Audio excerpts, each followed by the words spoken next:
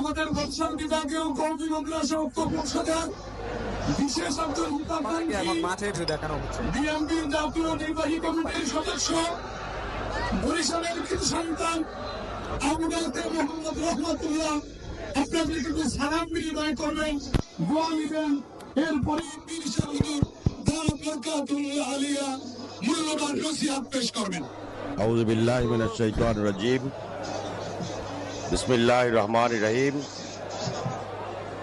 আজকের এই ইসলামী মহাসম্মেলনের সম্মানিত সভাপতি উপস্থিত হজরত পীর সাহেব চর্মনাই।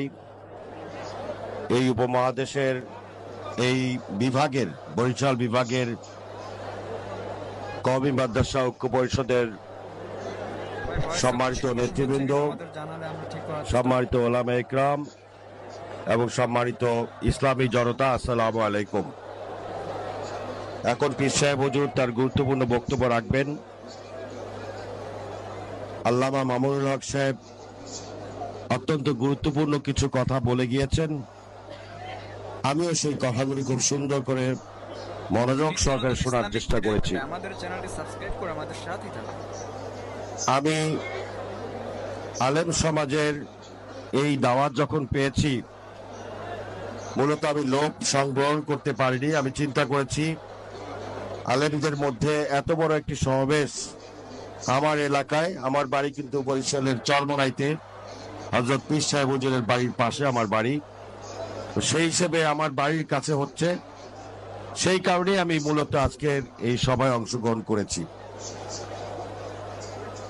গত পনেরো বছর বিশেষ করে বড় বড় ইসলামী মহাসমাবেশ বা ওয়াজ মাহফিল তাফসির মাহফিল এগুলো মানুষ কিন্তু ভুলেই যেতে বসেছিল। একটু আগে আপনাদের এই মহাসচিব সাহেব বক্তব্য রাখতে গিয়ে বলেছিলেন যে এত বড় সমাবেশ অনেক দিন এই মাঠে হয় না। অথচ বরিশাল অঞ্চল হচ্ছে ইসলামী জনতা আলেম ওলামাদের অঞ্চল। এই অঞ্চলে এই মৌসুমে বড় বড় ওয়াজ মাহফিল হওয়া এটা একটা সংস্কৃতি ছিল।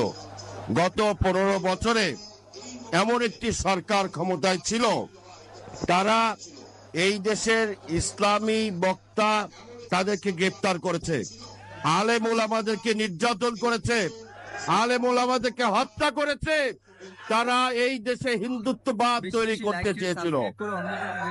আল্লাহর অসীম রহমতে সকলের প্রচেষ্টায় বাংলাদেশে এই ইসলাম বিরোধী মানবতা বিরোধী গণতন্ত্র বিরোধী অপশক্তির বিদায় হয়েছে।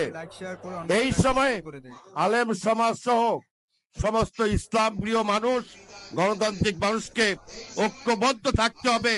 এই ফেসিবাদী শক্তি যাতে আবার মাথা উঁচু করে না দাঁড়াতে পারে।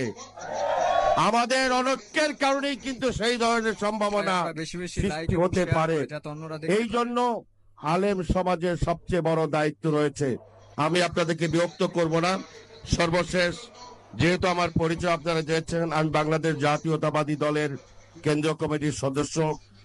আমাদের যিনি চেয়ারপারসন, সাবেক প্রধানমন্ত্রী দেশ নেত্রী বেগম খালেদা জিয়া, তিনি অনেক অসুস্থ।